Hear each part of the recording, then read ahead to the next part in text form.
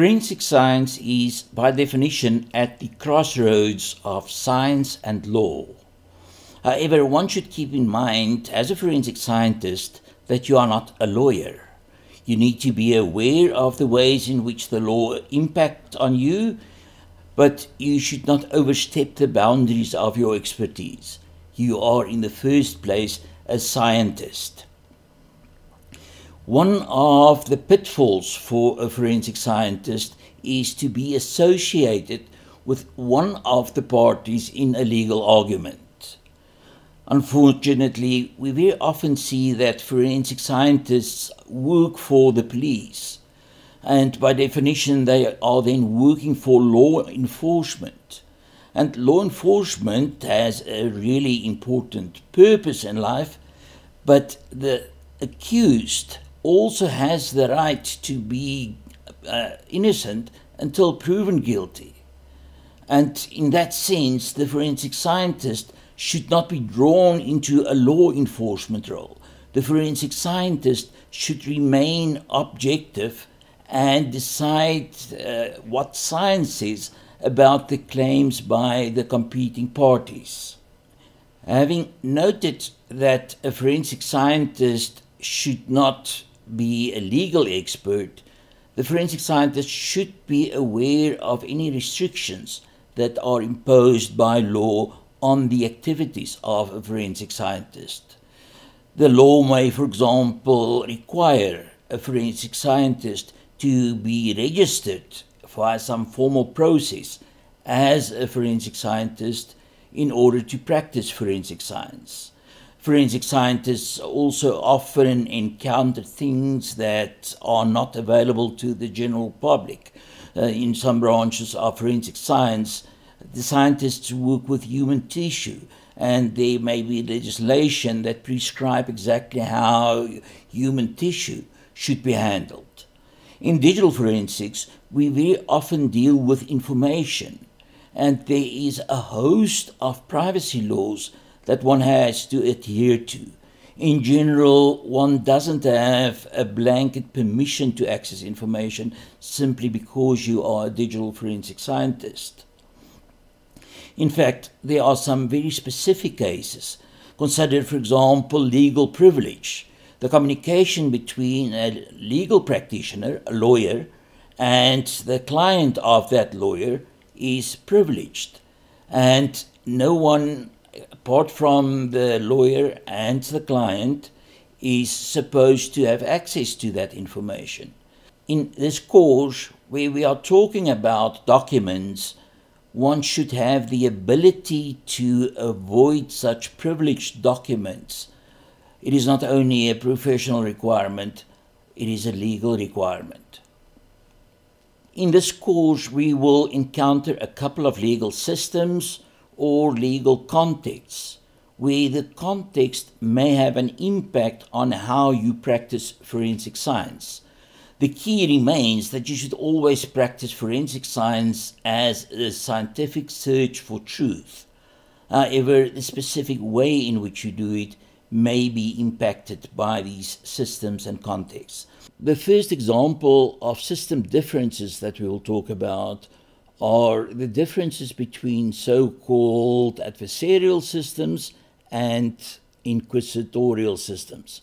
In an adversarial system, as the name indicates, the two parties to a case fight with one another in order to win the case.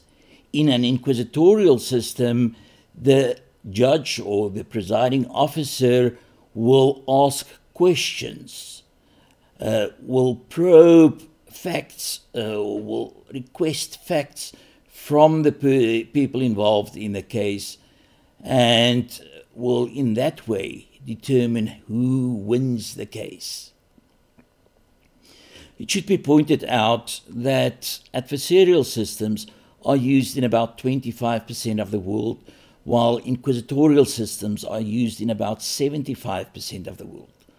However, because adversarial systems are typically depicted in Hollywood movies and US TV series, many of us are more familiar with the notion of an adversarial system if our primary source of legal systems is uh, the movie theater or the TV. An adversarial system, as already noted, is one where the parties to a case or to a legal dispute fight with one another. One way to think about it is to think about a contest such as a boxing match or a debating competition. So the various parties are putting in their best effort to win, and the role that the judge plays is, in essence, that of an umpire. So the judge will ensure that these players do not make any illegal moves, that they play according to the rules, and that they stay within the limits of what are prescribed by the law. In some cases, the judge also plays the role of referee, where the judge in the end decides who wins the game or who wins the legal competition. The challenge for a forensic scientist in this context is that the forensic scientist is appointed by one of the parties to this dispute. So you, as a forensic scientist, work for the one party or the other party. And then there is a very high likelihood that they may try and draw you into saying what this side wants you to say. And of course, you should, as we said previously, remain true to science. You should not change your response based on the side that you are representing. You should let the science speak for itself. So, in principle, the scientists on both sides of this competition should say exactly the same thing.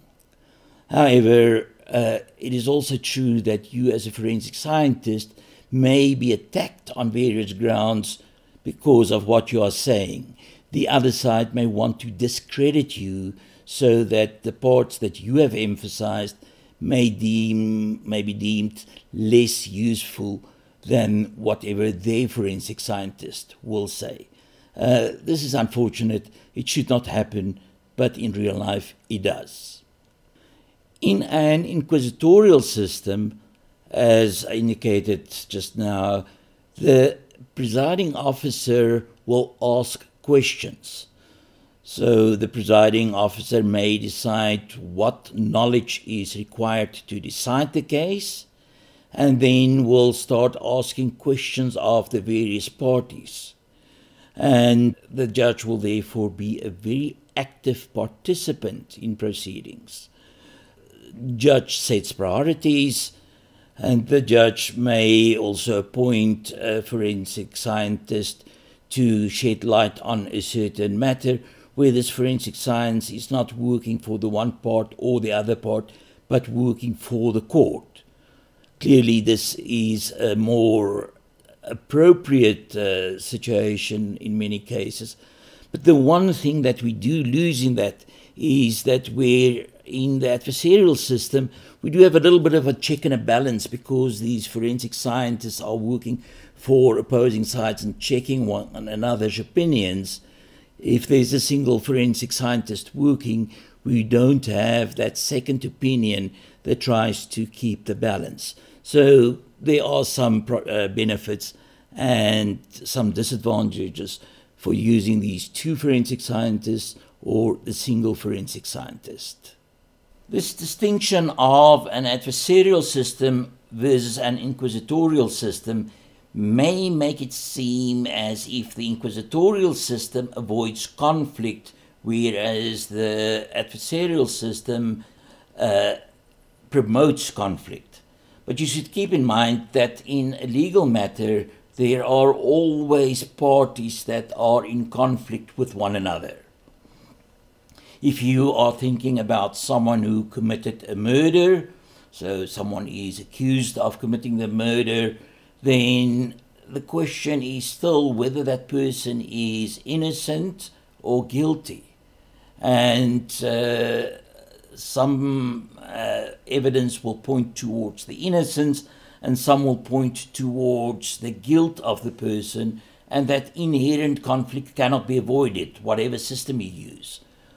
In another case, where two people disagree about the terms of a contract into which they entered previously.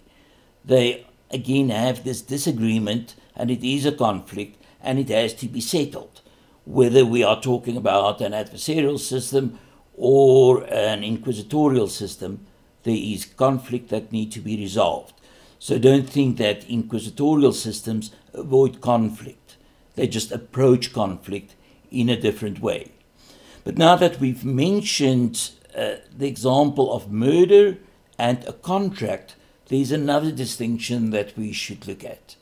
And that is the notion of a civil case versus a criminal case. A civil case is when two parties, typically two civilians, litigate against one another.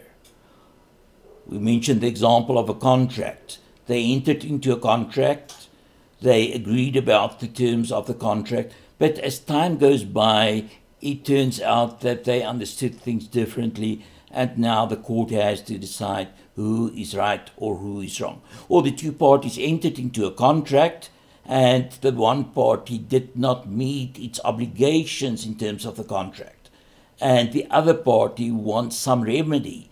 They want to sue the defaulting party for money or for some reparation. And again, they uh, enter into a civil case, they open civil litigation such that the court can decide whether this party who defaulted should indeed pay some uh, money to the other party, and often also the amount that should be paid.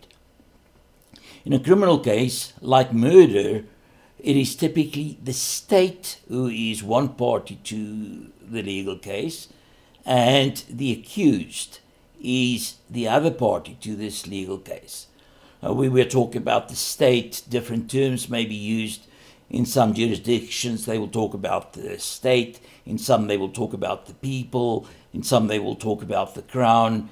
But it doesn't matter what term we use, really uh, in general, some person who, at least in my jurisdiction, works as a prosecutor, represents the state or the government or the people or perhaps the crown.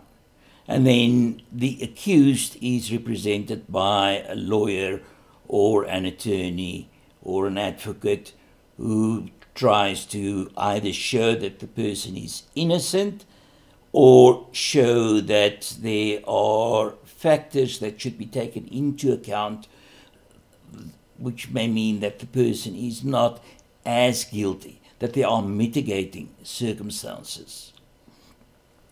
One of the critical differences between these two cases is the following. A civil case usually is decided on the balance of probability. In other words, the judge or whoever hears the case has to decide who has the better case. In statistical terms, even though we shouldn't use statistical terms here, uh, the one who scores a little bit higher than the other one. Uh, we shouldn't assign numbers, but if the one party gets a 55 and the other party gets a 45, then the 55% party wins. In a criminal case, uh, uh, the accused is usually assumed to be innocent until proven guilty. And that until proven guilty means that the party has to be shown to be guilty beyond any reasonable doubt. So uh, there should, in practice, be no question about whether this person is indeed guilty. Again, people who play with numbers will say something like 95% certainty, but uh, again, those who've studied statistics will know that that uh, doesn't make sense. You cannot assign numbers like that. You should, in essence, know that this person is guilty before you can convict the person in a criminal case. We just made a distinction between civil and criminal proceedings. Unfortunately, the term civil is overloaded because we will encounter it with a very different meaning in the next topic that we're going to discuss. And this next topic is the difference between common law systems and civil law systems. In a civil law system, where we use civil in this latter with its latter meaning, the law is codified. In other words, the law is written out as a set of rules. The very first codes, legal codes, were simply lists of crimes and punishments. If you steal something, then you have to pay that much. If you kill somebody, then you have to pay that much. Well, actually, if you kill a person of noble birth, then you have to pay that much. And if you kill a commoner, then you have to pay that much. But it was, as I said, just a system or just a list of crimes and punishments. But those codes developed and they, on, a, on an abstract level, began to spell out how legal disputes should be settled. This almost took the form of a program, or perhaps a set of programs. More specifically, for us as computer scientists, it works like a generic program. It abstracts away from the details and it says if you want to uh, consider a case that fits this pattern, then these are the steps you have to follow to reach your conclusion. What you will find in a civil setting like this is that the judge will typically be very, very active the judge will ask questions all the time. It's not like your typical adversarial system where the judge sits and listens. Here, the judge executes the program and reaches the conclusion. We are comparing civil jurisdictions with common law jurisdictions at the moment. In a common law jurisdiction, the law is not written down in this recipe like fashion. In fact, the idea of a common law system is that cases should be decided consistently. So, if a case is being decided in a certain way, then subsequent cases have to be decided in the same way. So, the first time that a court is faced with a specific question, it has to somehow make up its mind and decide the case and that sets a legal precedent. It forms what is known as case law. And then suddenly we have a law that was not enacted by Parliament or some other legislative body. Uh, we have a law that stems from a decision made by a judge. And other courts then have to follow this same law, the case law, and decide the case in the same manner. We have to elaborate a little bit on this point because courts usually operate at various levels. Uh, you may have your local courts uh, that uh, hear very common cases. You may have, typically, these are the lower courts or even courts, in quotes, below the lower courts and then you have your high courts, you may have your courts of appeal, and even constitutional or other top level courts. Generally, if a high court decides a case, then the lower courts have to follow that precedent, but other courts on the same level do not have to consider it as a precedent. However, once such a case has gone to a court of appeal, whatever the Court of Appeal decides applies to the high courts that are below it. And if there is an even higher court, if that court makes a decision, then whatever that court has decided has to be followed by the other courts. So, case law typically set by higher courts and apply to lower courts. And the decisions that are made in the lower courts are typically not case setting, they don't create precedents, they are heard independently. Uh, they have to apply case law where uh, case law is available, but they do not set, they do not make case law. To illustrate this point, we had a very interesting situation in South Africa a while ago. Many years ago, our High Court decided that euthanasia, assisted suicide, was illegal. So, whenever anyone wanted to use euthanasia, it would have been illegal based on the High Court's decision. More recently, a person approached the High Court and asked to be euthanized. The High Court noted that euthanasia in South Africa was illegal according to case law. However, it also noted the introduction of the importance of dignity according to the Bill of Rights introduced in the new South African Constitution and deemed that dignity was more important in this situation than the existing case law. Two hours before the judgment was delivered, the applicant passed away. The High Court granted this person's wish of being euthanized. Now, since the person was already dead, it did not uh, make a difference in the end. Uh, euthanasia could not be applied. However, we now have this rather interesting situation where a high court said we should revisit euthanasia, but case law said it is illegal. And the only way to really settle this matter would be for the state to appeal the case that uh, against the person who applied for euthanasia, even though the person is already dead so that it can go to a court of appeals and eventually go to the constitutional court so that we can have case law that is not contradictory.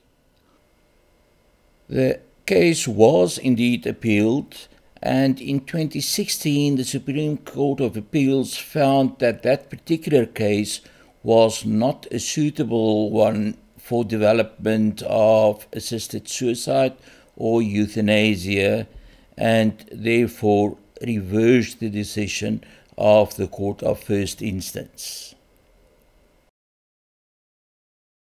In all of these cases, when you have a precedent or whatever, uh, it is possible for Parliament or the other legislative body to enact a statute. And once a statute or an act of Parliament uh, is on the books, then that will override case law. The court may still find that that law that has been enacted is not aligned with the Constitution and overturn it. But in, as a general rule, once a statute is on the books or an act has been signed by the President, that would overrule any case law. And also in the case of an inquisitorial or codified legal system, uh, a specific act will override the general rules that occur in the code. The next aspect of legal systems that we need to consider is who makes the final decision. So, if it is a civil matter, the question is literally who wins the case. Is it the claimant or is it the defendant? In a criminal matter, the question in the end is whether the accused is found guilty or not. And then, along with those, what would the punishment be, or in a civil case, what would the remedy be? In essence, two options. The one option is that the judge makes this decision, or the other option is that a jury makes this decision. In some countries, uh, the right to be uh, go, or the right to go on trial and be judged by a jury of your peers is deemed to be an essential element of human rights. In other countries, the judge simply makes the decision and there is no notion of a jury.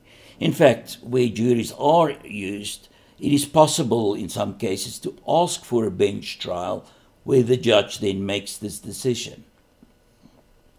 The reason why this is important in our context is the following your audience makes a difference to the way in which you present forensic evidence. If you are presenting forensic evidence to a judge, then the judge is a learned scholar. The judge may not know much about your specific field of expertise, but the judge can probably ask for assistance outside of court and uh, determine what the weight of your evidence should be. However, a jury consisting of lay people may be impressed by all sorts of bells and whistles, and uh, as a forensic scientist, you may want to play to that audience to make them understand the message that you want to convey. Hopefully, it's the same message that you can that you are conveying to whether it is a judge or a jury, but the way in which you convey it may need to be adapted for the audience. This also has another profound impact on evidence that deals with admissibility of evidence. In the end, it is a court that decides whether evidence will be admitted or not. There are all sorts of crazy theories that people bring to court, and then a court has to decide whether they're going to allow that theory as evidence or not. One of the best known examples uh, that to this day remains disputed is the so called lie detector. If you are using a jury system and uh, you have wired up a person to this fancy machine that is called the lie detector, and the lie detector says that this person has lied, it becomes very hard for the opposing side to discredit this evidence. So, before this lie detector testimony or evidence is even allowed into court, the other party will object or may object, and um, the jury will typically be taken out of the courtroom, and then the parties will fight about the admissibility of this evidence. However, if it's only a judge presiding or a bench of judges deciding, they are deemed to be almost superhuman in a sense. They are able to, at least in principle, forget something that they've seen.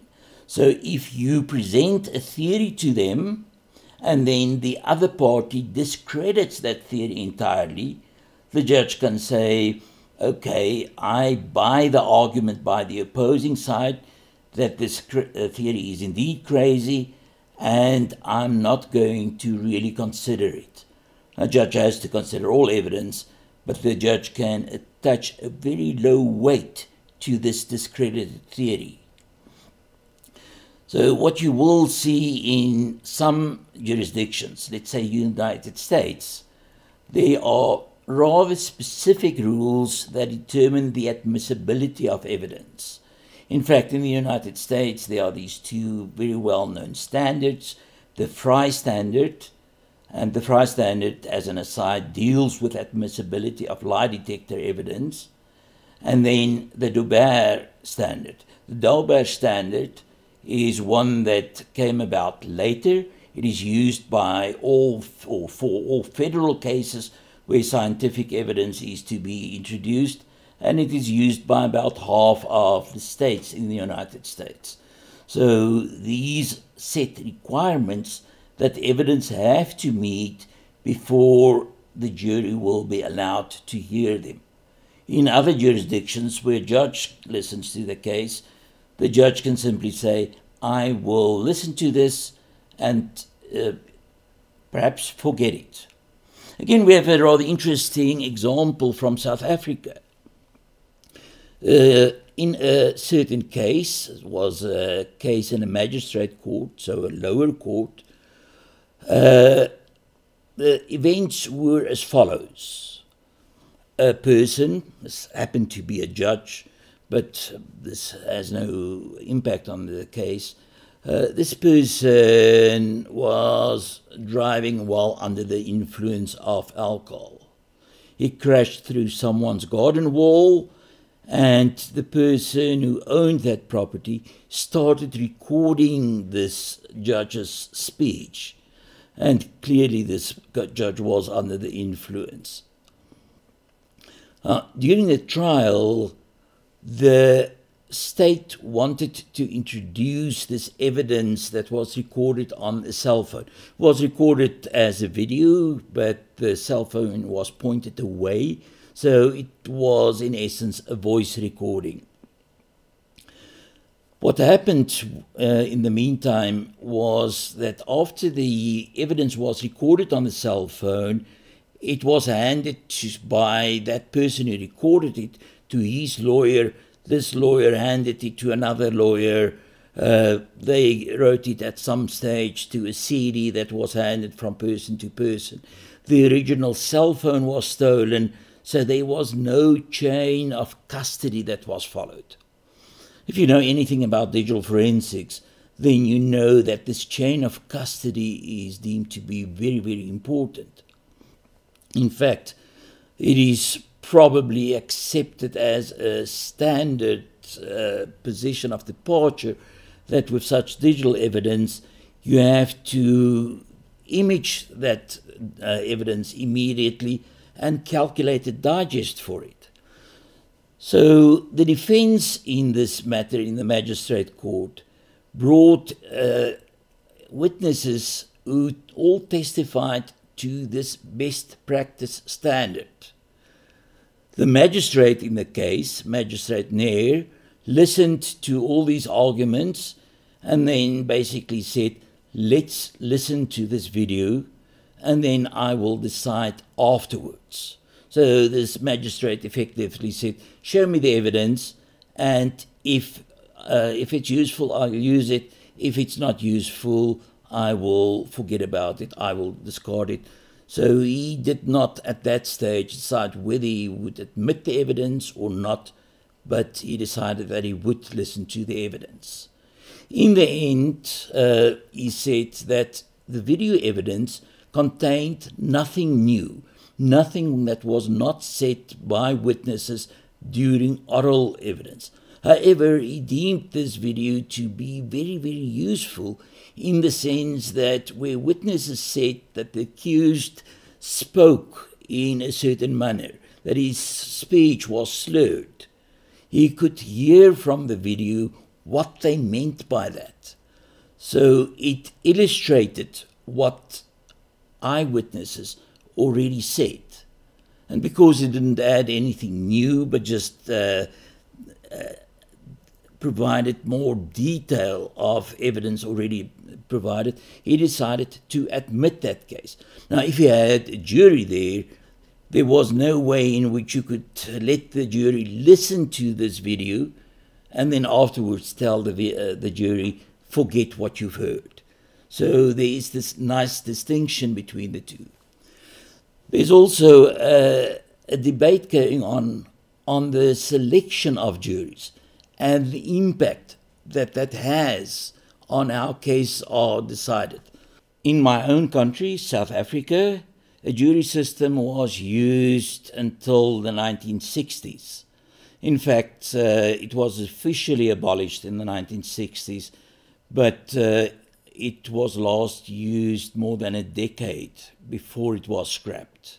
On the screen at the moment is a picture of the Palace of Justice, more or less on Church Square in the center of Pretoria.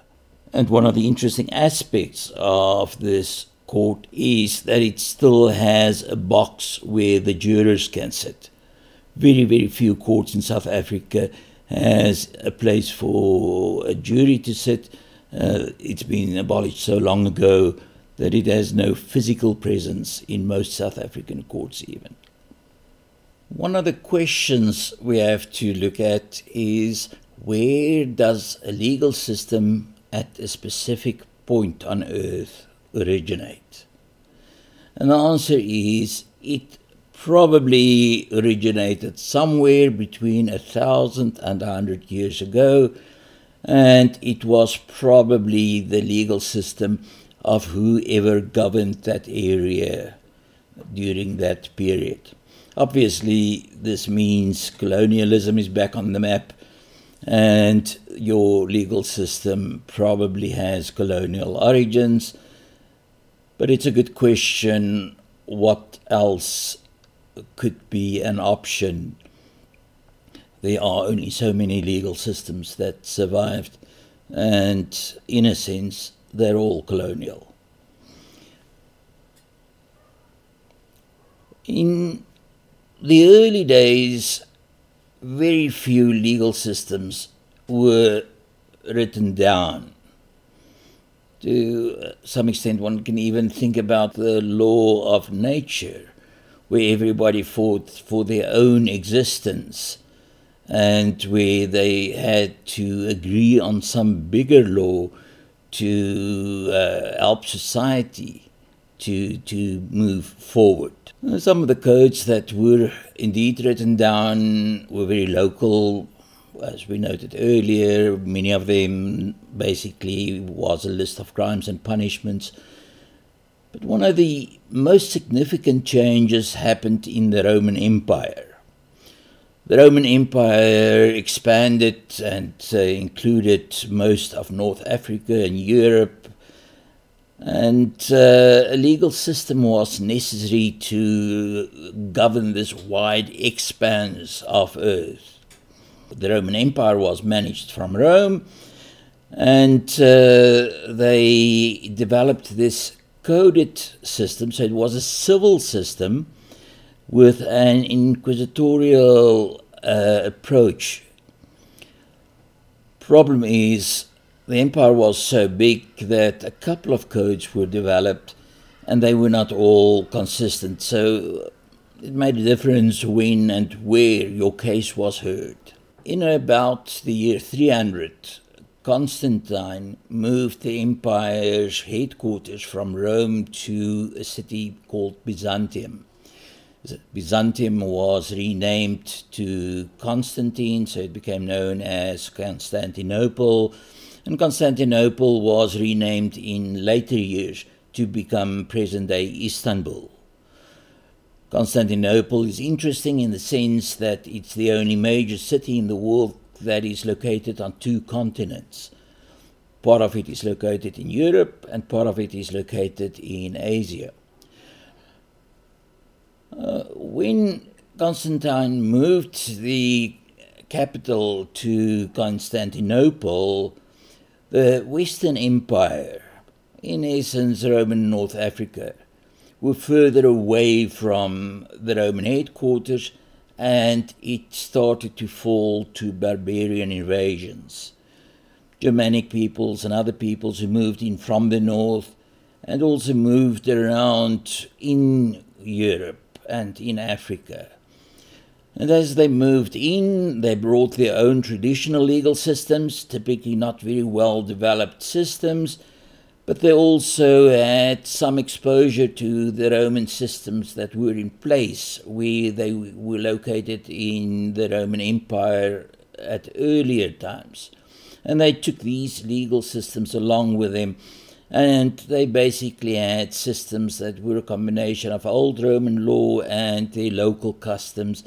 Not very well developed, not very sophisticated, and uh, well, if what you're doing is uh, farming and hunting a little bit, then such a legal system's probably fine, and they didn't bother too much. On the other hand, the Eastern uh, Roman Empire flourished, and they elected uh, other emperors one after the other. And in about the year 500, Justinianus came to uh, power. Justinianus I, or in a slightly more English form, Justinian the First. And uh, he immediately realized that the Roman legal system needed to be reformed. So he set about and created, to had his uh, scholars create, something that was known as the corpus juris civilis. So, the corpus, the body of civil law, uh, civil law in the sense of a codified law, so this was this contained a legal code, and it, it attempted at the very least to sort out the differences that existed in the earlier Roman codes. Uh, this was a fairly big piece of work, but one of the most important parts of it was the Codex Justinianus, the codification of Roman law around the year 500. In the meantime, uh, the eastern part of the Roman Empire also weakened, and eventually, in about the year 1000, it did not exist in the form that it existed anymore, and about 300 years later, the Ottoman Empire took over. Ottoman Empire, when they took over, uh, Islamic law was introduced and Roman law no longer had a role to play. But back in history, just a little bit, around the year 1000, the Codex Justinianus was discovered in Italy, and the University of Bologna started to train uh, legal scholars. And they used this uh, Codex Justinianus as their textbook. So, this recall, this was almost the ultimate Roman law.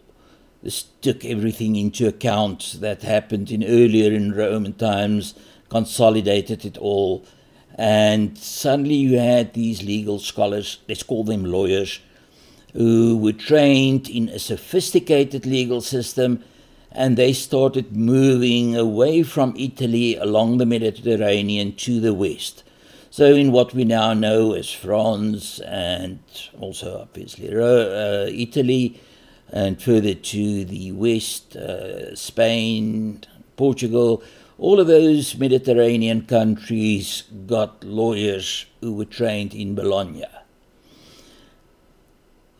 In the northern parts, basically where the Netherlands and Germany and those countries are, their old legal systems no longer sufficed and they started using these lawyers who were available in the south of, of uh, Europe. And these lawyers migrated north and they introduced uh, much more of the Roman system into the northern countries. So, what happened in a country like the Netherlands, for example, the Dutch law was augmented by Roman law as taught in Bologna to the extent that the Dutch law became the smaller part of the law and the legal system used in the Netherlands was known as uh, Roman Dutch law. Similar things happened in other countries in Europe where they mixed their traditional legal systems with this Roman law and uh, life could continue. However, when the Ottoman Empire came into existence, there was another problem. For many centuries, peoples from Europe and North Africa obtained their silk from China and their spices from India. Now, to get from those Mediterranean countries to India was rather simple. You would get onto a boat and sail across the Mediterranean, and then where the Suez Canal exists today, you would simply go overland and you would get into the Red Sea, and then you could sail to India. No problem. Silk was a bit more of a problem uh, because you had to travel quite a distance from Europe to China across the desert. But again, the traders uh, for millennia used the Silk Route to carry silk from China towards Europe. But when the Ottoman Empire came into existence, this route was no longer available. The Ottomans reigned over Istanbul or Byzantium or Constantinople, depending at the time period at which you look. This creates a problem. Just imagine if you can't get your silks, and more importantly, if you can't get your spices what do you do? Well, you start and try and find it using other means. And to try and go uh, past the Ottoman Empire to the north was a bit of a problem.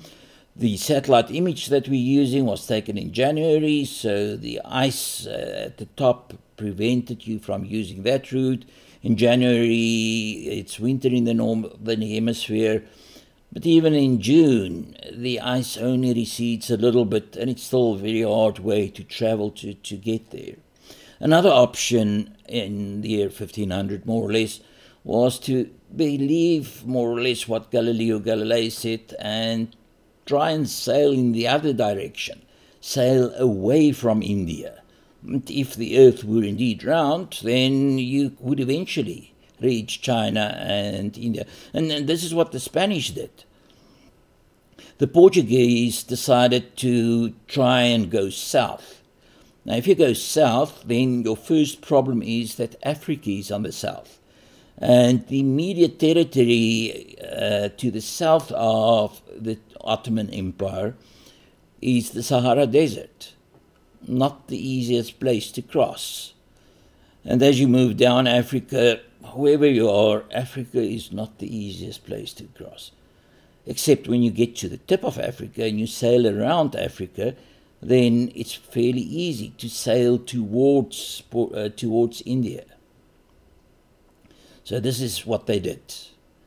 Portuguese first came, uh, they touched countries like Mozambique and uh, Angola. Obviously, at those uh, at that time, Mozambique and Angola were not known as Mozambique and Angola. They also touched uh, Brazil, which was not known as Brazil at the time. They needed some place to stop to get refreshments, uh, to get fresh water, and uh, these are the places they selected. Once around the Cape, they sailed to a city named Goa in India. It's one thing to, to sail, but uh, after a while they started saying, we want to control more of that area and they created, established colonies in those areas. And as they established colonies, they introduced their religion into those areas, but more importantly for our purposes, they also introduced their legal systems into those areas. In fact, to this day, if you visit the city of Goa in India, you will find that it looks like a Portuguese city and you will find Roman Catholicism. After the Portuguese started trading with China using this route, the Dutch followed. And uh, as you are probably aware, they established a halfway point at Cape Town, not known as Cape Town at that point, but they called the area the Cape Colony, and uh, went on and they traded with uh, India in the same way that the Portuguese did. This trading post, or halfway point in the Cape Colony, that was initially more or less a castle and some vegetable gardens, expanded and became a colony.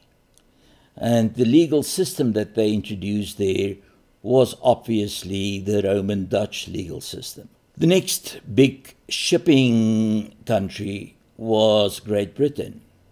And Great Britain started sailing around the Cape. And at some stage, they said, We rather like this Cape colony.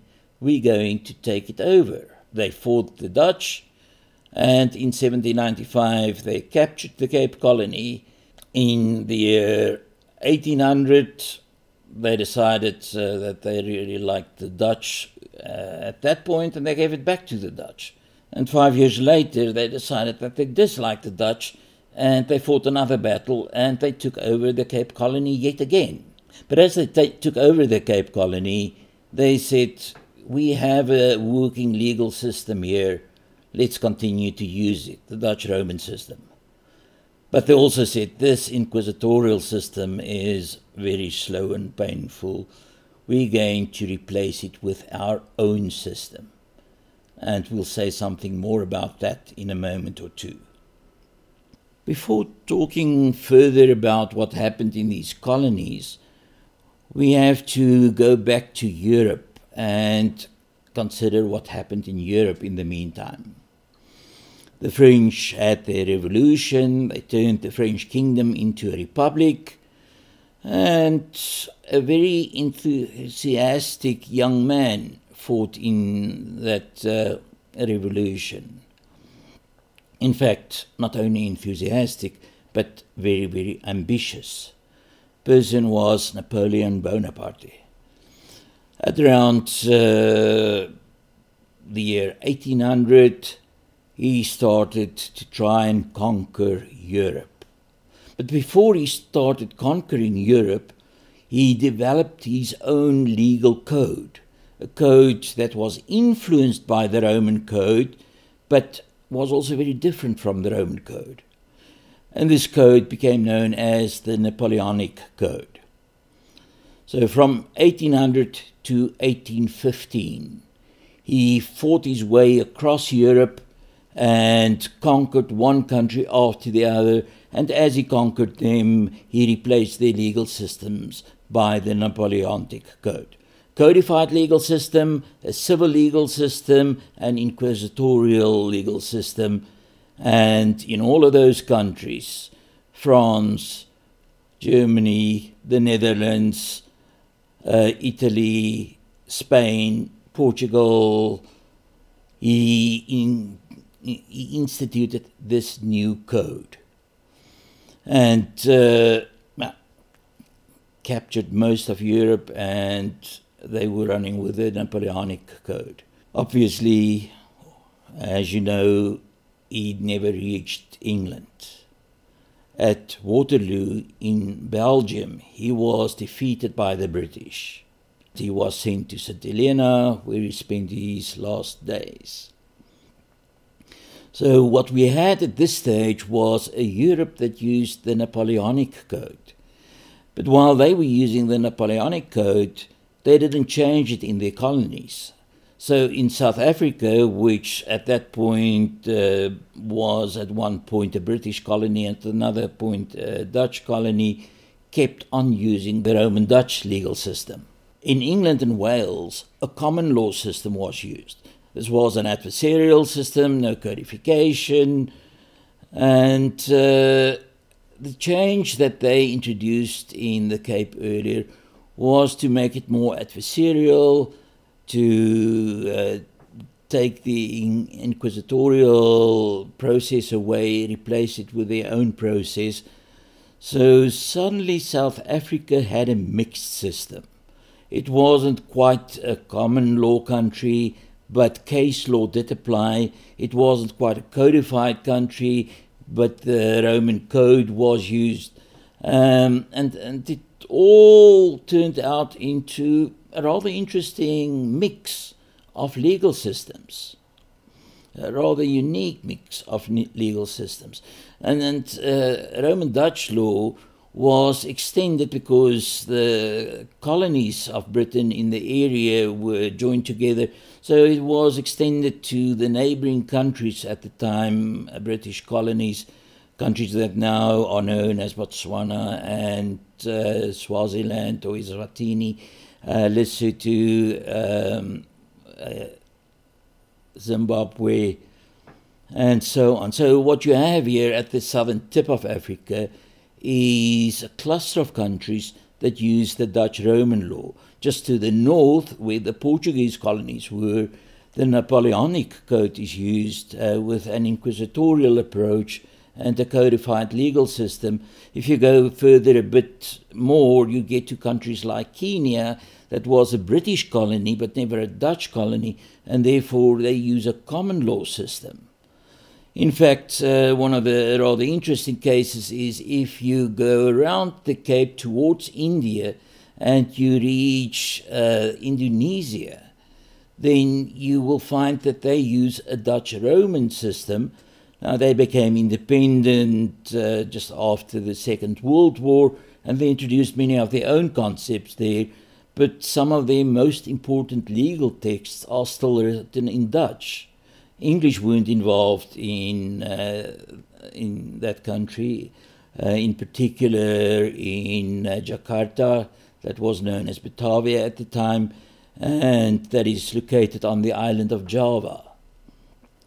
The Portuguese, as an aside, went further towards uh, China and they took the Chinese island Macau and converted it to a colony.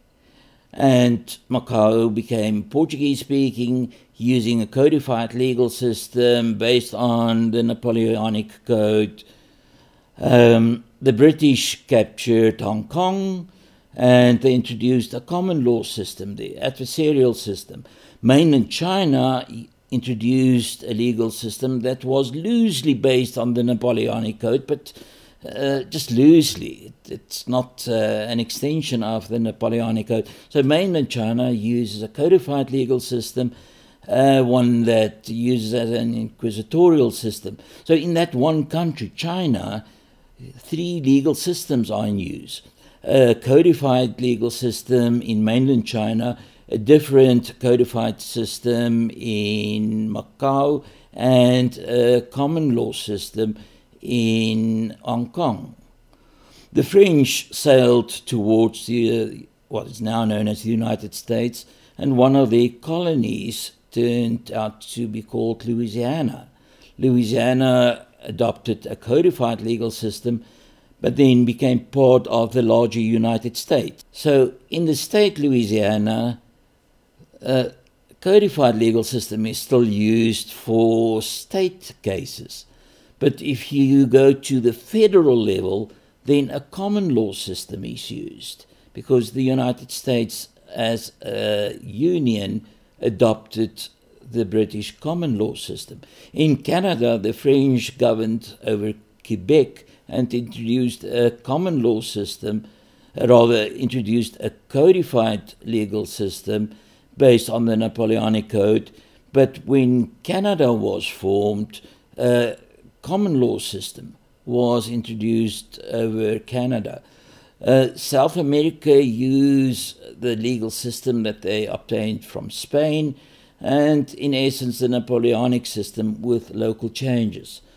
So, long story short, the world is a very, very strange place with legal systems and remnants of legal systems spread all over the world without any logic unless you look at the history. And those legal systems also started changing the moment they were incorporated with other national systems and local systems. So, in some cases, basically all cases, where you have multiple legal systems in a single country, those legal systems are moving closer together, although they are still fundamentally different. One way of, in a sense, visualizing how these systems can be integrated uh, can be obtained by watching a little bit of Judge Judy. Judge Judy is based in the United States. She uses a, a common law system but her style of uh, handling court matters is clearly inquisitorial. Let's watch. All parties on Hill versus Griffin. Step forward, please. 27 year old singer Robert Hill is suing his girlfriend's friend, 36 year old professional driver Janet Griffin, for sending a computer virus to him, destroying his computer. Janet says she didn't know it was dangerous. Mr. Hill, this case has to do with your computer. Yes, ma'am.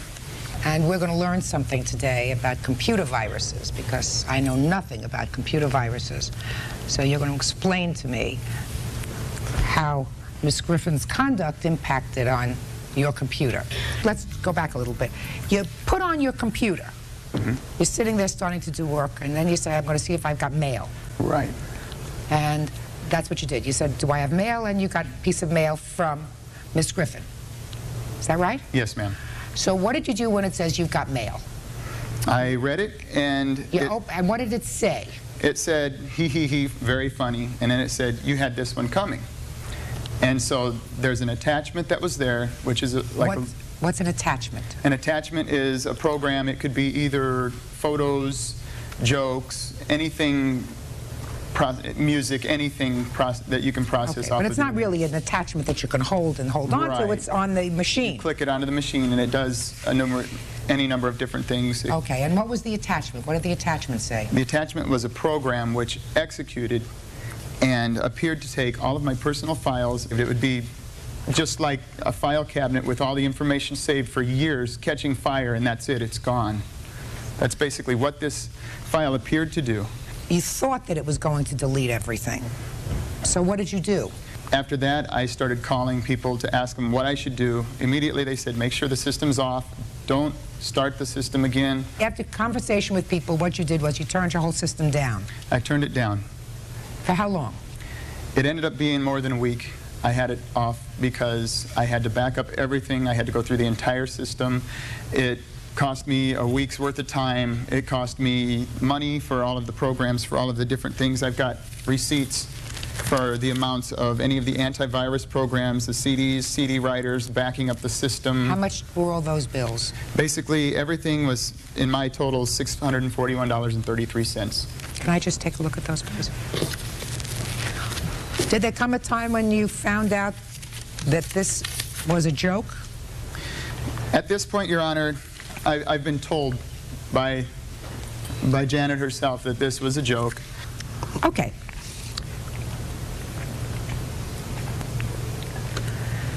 Yes.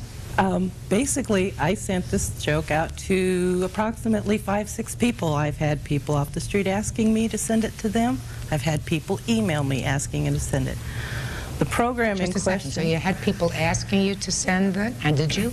Yes, I have. He didn't ask you to send it, No. right? How many times previous to this did you send Mr. Hill an email? None.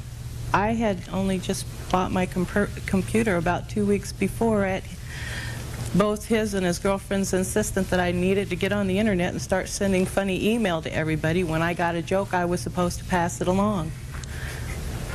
Miss Griffin, I don't buy it. Okay, Miss Griffin, so pay careful attention.